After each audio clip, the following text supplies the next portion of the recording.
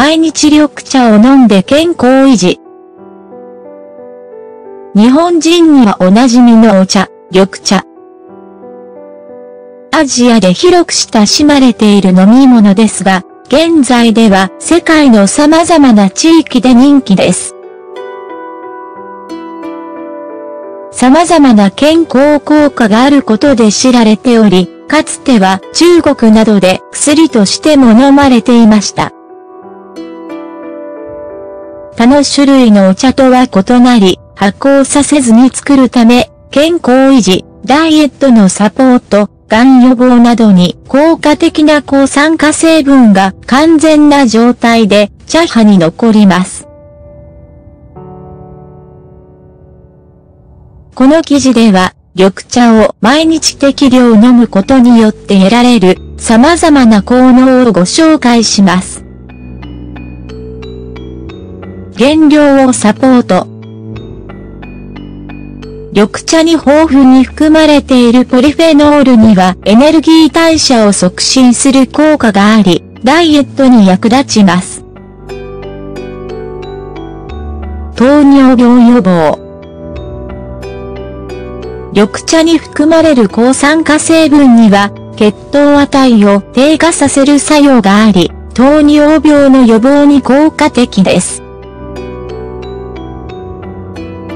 毎日緑茶を飲んで、食後の血糖値の上昇や、糖分が脂肪として蓄積されるのを防ぎましょう。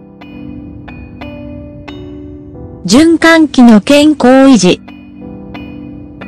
毎日、一杯の緑茶を飲むことは、コレステロール結晶や循環障害など、様々な循環器系疾患の予防に効果があります。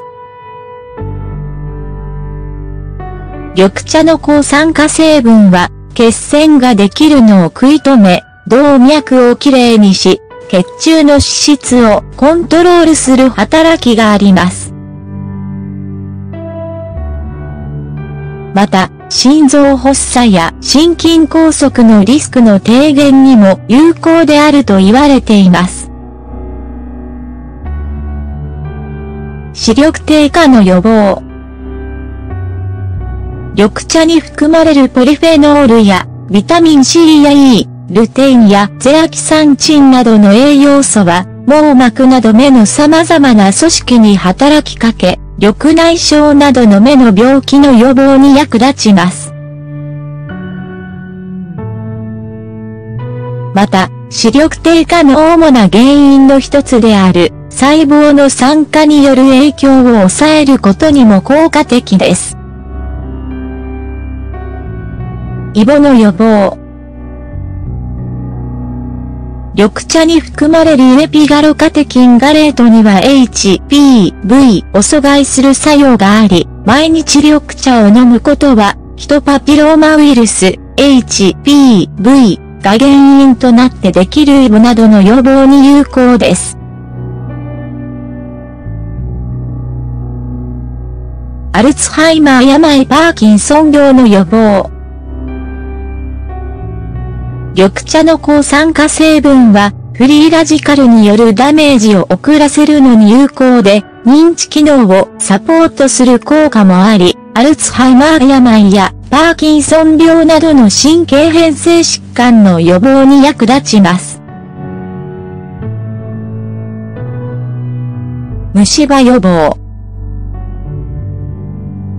緑茶に含まれる抗酸化成分のカテキンには、喉の感染症を引き起こす細菌や虫歯菌などに対する殺菌効果があります。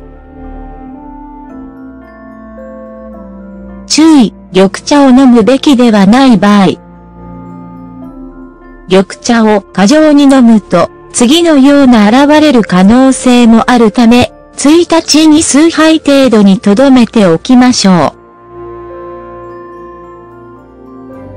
う。頭痛。神経過敏、下痢、夜眠れない。イライラする。心拍数が上がる。めまい。また、緑茶を飲むべきではない場合もいくつかあります。緑茶にはカフェインが含まれているため、薬を服用している時や、アルコールを摂取している時は、相互作用を避けるために緑茶を飲むのは控えましょう。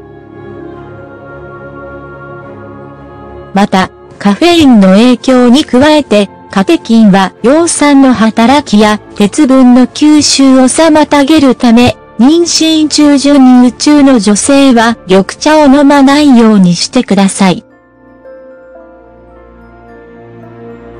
高血圧や貧血の人、消化機能に問題のある人も、緑茶を飲むのは控えるか、医師の監督のもと、ごく少量を飲むようにしましょう。緑茶の健康効果は、飲む量にも左右されます。なる場合でも、飲みすぎないように注意してください。1日に2杯程度を適量として緑茶を楽しみましょう。